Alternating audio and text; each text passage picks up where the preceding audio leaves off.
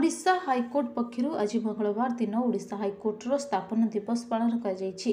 ଏହା ସହିତ ହାଇକୋର୍ଟର ପ୍ରଥମ ବିଚାରପତି ସ୍ୱର୍ଗତ ବୀରକିଶୋର ରାୟଙ୍କ ସ୍ମୃତି ଦିବସ ପାଳନ କରାଯାଇଛି। ଉଣେଇଶହ ଅଠାଅଶୀ ମସିହା ଜୁଲାଇ ଛବିଶ ତାରିଖରେ ଓଡ଼ିଶା ହାଇକୋର୍ଟ ପ୍ରତିଷ୍ଠା କରାଯାଇଥିଲା ସ୍ୱର୍ଗତ ଜଷ୍ଟିସ୍ ବୀରକିଶୋର ରାୟ ସର୍ବପ୍ରଥମ ମୁଖ୍ୟ ବିଚାରପତି ଭାବେ ଅବସ୍ଥା ଅବସ୍ଥାପିତ ଥିଲେ।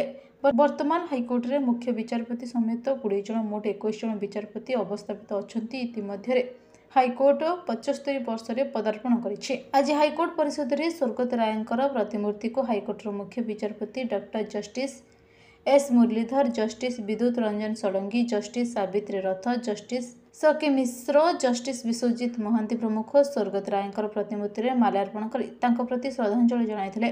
ଅପରାହ୍ନରେ ସ୍ୱର୍ଗତ ଜଷ୍ଟିସ୍ ବୀରକିଶୋର ରାୟଙ୍କ ସ୍ମାରକୀ ପକ୍ଷରୁ ହାଇକୋର୍ଟ ବାର୍ ଆସୋସିଏସନ ପକ୍ଷରୁ ତାଙ୍କ ପୁଣ୍ୟତିଥିରେ ଏକ ସ୍ମୃତି ସଭା ଅନୁଷ୍ଠିତ ହୋଇଥିଲା। ସ୍ମୃତି କମିଟିର ସଭାପତି ସନାତନ ଦାସ ଏହି କାର୍ଯ୍ୟକ୍ରମରେ ସଭାପତିତ୍ୱ କରିଥିଲେ। Justice B R Sarangi advocate general Ashok Kumar Parija ଏବଂ ବାର୍ ଆସୋସିଏସନର ସଭାପତି କାଳୀପ୍ରସନ୍ନ ମିଶ୍ର ଅତିଥି ଭାବେ ଯୋଗଦେଇ ସ୍ୱର୍ଗତ ରାୟଙ୍କର ସ୍ମୃତିଚାରଣ କରିଥିଲେ। ସ୍ମୃତି କମିଟିର ସମ୍ପାଦକ ବିଜୟ କୁମାର ରାଗଡ଼ା ସ୍ୱାଗତ ଭାଷଣ ଦେଇ କାର୍ଯ୍ୟକ୍ରମ ବିଷୟରେ ସୂଚନା ଦେଇଥିଲେ ସେହିଭଳି। ଓଡ଼ିଶା ଜୁଡ଼ିସିଆଲ ଏକାଡେମୀ ପକ୍ଷରୁ ହାଇକୋର୍ଟର ପଞ୍ଚସ୍ତରୀ ବର୍ଷ ପୂର୍ତ୍ତିରେ ଏକ ସ୍ୱତନ୍ତ୍ର କାର୍ଯ୍ୟକ୍ରମ ଅନୁଷ୍ଠିତ ହୋଇଥିଲା। ମୁଖ୍ୟ ବିଚାରପତି ଡକ୍ଟର ଏସ୍ ମୁରଲୀଧର ଦୁଇ ହଜାର ଏକ ବର୍ଷ ଆଇନଜୀବୀମାନଙ୍କୁ ପୁରସ୍କାର ପ୍ରଦାନ କରିଥିଲେ। କଟକରୁ ଭରତ ମହାରଣାଙ୍କ ରିପୋର୍ଟ ନାଗରାଜ ନ୍ୟୁଜ୍।